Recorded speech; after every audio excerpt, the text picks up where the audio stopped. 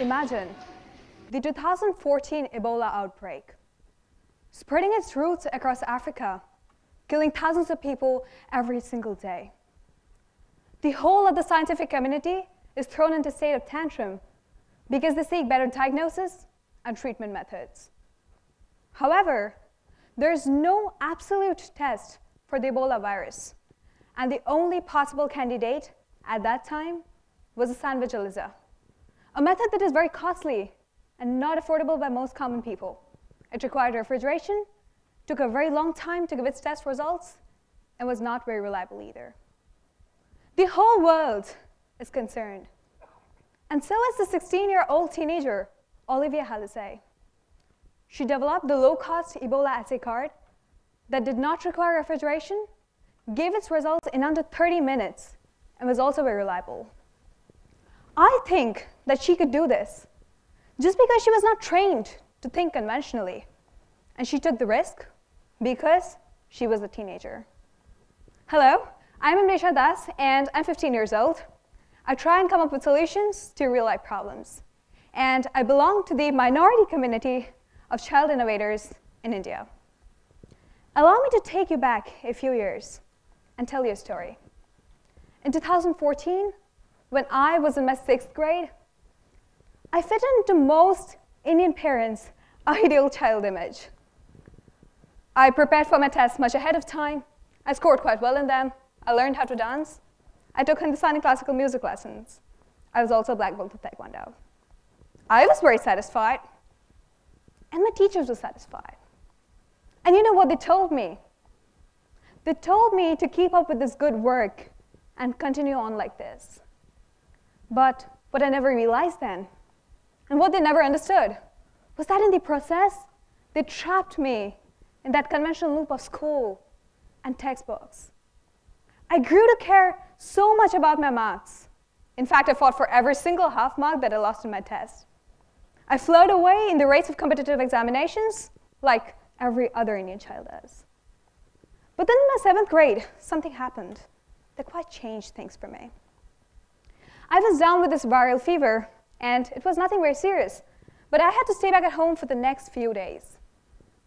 It was then that just to entertain me, my mom opened the homepage Google Science Fair and told me to have a look at the projects. I stared at the screen and I reread the titles again and again. I could not make much sense out of it, nor could I get much of what they did. And what struck me was that these projects were done by people probably just a year or two older than me. I sensed a passion in them and in their projects that I failed to see in myself. This led to question that led me to question my own abilities. But then at the same time, I thought, if they could do it, then probably I could do it too. And that was my first part. So I went up to my parents and I told them, hey, mommy, hey, daddy, I want to be working on a project and I want to go to lab too. At first, they thought that probably I'd said those words out of my childish imaginations, and they did not take me seriously. But I pressed on. And I think that they soon realized that I meant it. And when they did, of course, I received all the support without which I would never have been here today in the first place. From then on, every single afternoon, I used sit with my mom in front of my laptop and initially, I started out by looking at other projects. But then the underlying aim was to find a problem that I could solve. But months passed, and things did not work out the way I wanted them to. I could not get the right problem. What I realized at this point of time was that all these problems need to be inspired from our daily life. So I stopped and I questioned myself. What is it that I could make better? Now, you must know that at that point of time, I was only 12 years old. And the biggest problem in my life was to polish my shoes every single day in the morning before going to school. I thought it to be completely unnecessary and overrated. I thought, could I do something so that I don't have to polish my shoes every day? And then began my first research project. Throughout my project, I assumed that the main source of dust was the soil. So I started off by reading more about the components and the electrochemical properties of soil. And I found that soil has a tendency to become negatively charged. Simple science came in, like charges repel. I finalized in a mixture of Teflon and silicone, and I polished my shoes with that mixture. And it worked. The proof is that I haven't polished my shoes in the past three years. But my mom made me polish them today, you know. I, I guess that's okay, it's TEDx. What I realized then was that all these science fairs, these science competitions, they wanted solutions to problems that could change the world. How could my auto dust ripple and shoe polish have any impact on the global community whatsoever? But I wondered if it would be possible for me to use the same concept elsewhere to solve a problem with a greater impact. Now, around the time we were getting these solar panels installed at our house, and I noticed as the cleaning man came in every single week to wash the surface of these panels, I was curious, so I questioned them. I asked them questions like how much did they charge, and why did they do it, and how did they do that? What I found was that, the was that they charged rupees 1250 for their weekly wash, which is a lot. And the problem they faced was that due to the accumulation of dust particles on the surface of solar panels, the efficiency of these panels could be reduced up to 50% in just 30 days. And this is a real problem. You can guess what happened next. I redesigned all my experiments, and I redid all of them. I found that my method could reduce the dust accumulation levels by 2.1 times. I soon after entered the state fair, and I was declared the second prize winner. I also won a patent filing grant. Now, by the time I was already in my ninth grade, and that summer, I started looking for internships that I could apply to. After spending a considerable amount of time writing dozens of emails and being rejected over and over again, I finally made it into a biology lab. And I was so excited. But after a long wait, when I finally got to go to the lab, this is what happened. For the next month, I got to observe people learn how to use a microscope, did egg breaking and pipetting. I also encountered questions from the graduate students that went on something like this. Oh my God, you're just 14 and you're already hanging out in the lab? What do you plan to do with your life? Or something like, you probably already know about differential equations and read about reaction equilibrium, huh? And my favorite one, so what are you doing nowadays? I mean, seriously? They either underestimated me or treated me like a prodigy. And I was neither. The adults failed to get me. Now, the same summer, I had this so fascinating idea on a better method for internet addiction diagnosis. The problem, as I thought, was the existing solutions were that they kind of end up asking an addict, Are you an addict? Which doesn't make much of sense, right? So I had a different thought in mind, and I realized that to test out my hypothesis, I would have to conduct a survey. Being a school kid, my most obvious options were my classmates, so I approached them. Most of them refused straight away. The others answered, but they were very reluctant. The problem is that people fail to realize scientific innovation has got no age bar. You don't have to be a 35 year old, really nerdy guy, complete with a pair of lab glasses and a lab coat, to be inventing. And this was something of the image that all of them had in their minds. I continued on with my project for the next few weeks, but eventually I had to abandon it. Yet, Another five, six months passed. And yet, another incident happened in my life. I got this amazing chance to go to Stanford University for a summer program. And things were so different there. I met people who had been in situations very similar to mine. I decided to share my idea with them. And I received much of critical feedback.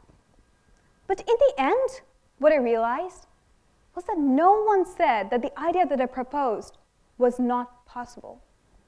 So I set to work on it. And yet again, after a few months, I finally completed my project.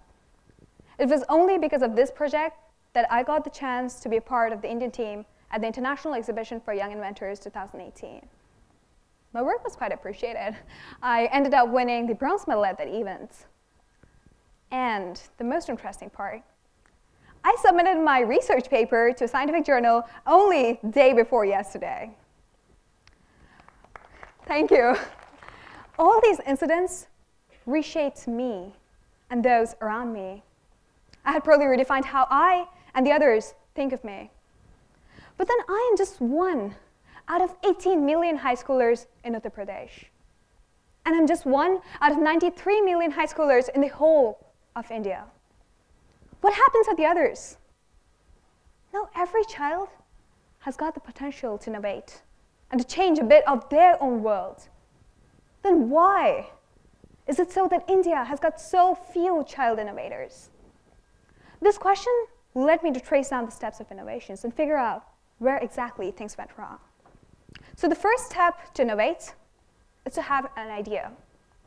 Now, children from all around the world, be they be from India, Sri Lanka, Cambodia, Germany, or probably Austria, have got equal access to problem generations. The problem is just about generating problems, there are plenty of them out there to be solved through innovations. So that is not our main concern here. Sorting out that part and moving on to the next part of innovation is that when you have an idea or when you have a solution to a problem, how to share it with the world. Being a teenager, I think there are three probable steps. The first is that you communicate your work with a scientific journal. The second is that you go up and present your work at the science fair. And the third is that you file a patent if applicable. Now, about the first channel, that is of communicating your work with a scientific journal. Being a teenager, what I realized was that it's very hard to write down your work in the form of a research paper if you don't have much of prior background to it. Plus, most journals would hesitate to publish a high schooler's work. So what is the solution? Well, there are some journals that publish exclusively for high schoolers, but again, a very few of them. Now coming down to science fairs. Well, personally, I think that this is the best channel because number one, you get to meet a lot of amazing people. They can either be judges, they can be observers, or just fellow participants. The second point is that you get a lot of live feedback from people with diverse cultures and different degrees and different backgrounds. And the third is that you get to compete against people who are of your own age group. Now, coming specifically to science fairs in India, let me summarize the thing for you. There are a very, very few of them. I could almost, I repeat, almost count them on my fingers. Just to show the gravity of the situation here today, I did a comparative study. I compared California, just the state, and India, the whole country. And I took up the case of Intel International Science and Engineering Fair, which is the world's biggest pre-collegiate science fair. And almost every child innovator or child scientist dream is to go up to that level and to present their work at the finals. Now, undoubtedly, it is very competitive. And even more unsurprisingly, it is super competitive in India. Seven million people participate every single year. Now, California, just the state, has got 14 state fairs leading up to ISEF. What that means is that if you qualify in any one of these, you get the chance to be part of their state team and be a part of the ISEF finals. In short, the major cities like San Francisco, San Jose, or Santa Cruz have got their own science fairs leading up to ISEF. Now, all the three cities that I mentioned before together have got a population of 18.4 lakhs. Whereas Kanpur, the city where I live, itself has got a population of 29.2 lakhs. Now, hypothetically speaking, Kanpur too should have its own science fair leading up to ISEF, which is crazy. As much as I know, in all these years, we have never even had a casual, friendly science fair. The truth is that there's only one science fair leading up to ISEF from India. So the main problem that I think with our society is the lack of opportunities. About the third channel, that is for patents, I tried finding data pertaining to the age of those who file a patent, but unfortunately, I could not get any data for India and for any of the other countries that I tried to survey. So let me summarize the things for you. What I mean to say is that children are amazing. Studies suggest that children are expected to be as smart, if not smarter, than their adult counterparts. And this has got a reason behind it. Humans are evolutionarily coded to understand uh, and analyze complex data and abstract patterns, what we call creativity.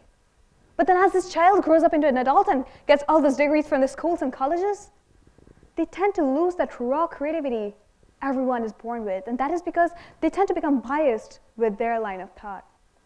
Now, teenage is at the crossroads because you are neither too trained to lose that raw creativity you were born with, nor are you not trained enough to carry out scientific investigations. My advice to you is be of any age. Just go out there and try finding a solution to a problem you care about. It's a wonderful feeling when you know that you can change the world in your own little way. You don't have to be a science prodigy or an extremely smart person to be innovating. Invention just requires you to be yourself. It requires you to be passionate about what you like to do and optimistic about what you can do. Thank you.